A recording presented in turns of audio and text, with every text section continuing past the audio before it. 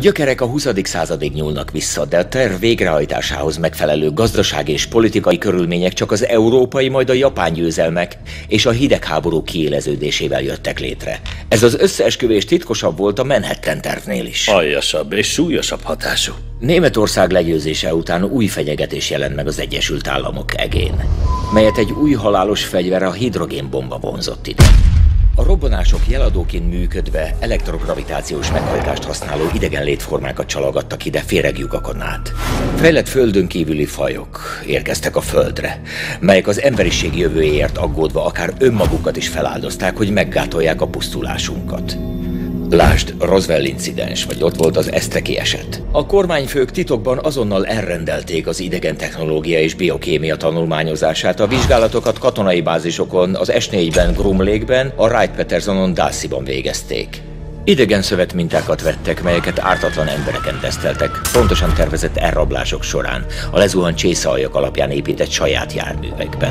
Emberi hibrideket gyártottak génmanipulációval és idegen embriók erőszakos beültetésével. Számukra magától értetődő a hazugság, a program része. A Tuskegee kísérletek a 30-as években Egy kormány, mely titkolja, gyűjti az idegen technológiát már 70 éve. Emberéletek és a föld jövője árán is. Őket nem csupán a kapzsiság hajtja, hanem valami sötétebb cél. Amerika elfoglalása. Majd az egész bolygóé. Nem számít milyen áron legyen az erőszakos, gonosz vagy hatékony. Szárasságokkal, időjárás befolyásolással, melyet titkos légszennyező anyagokkal és elektromágneses besugárzással érnek el. Örökös hadikészültségben.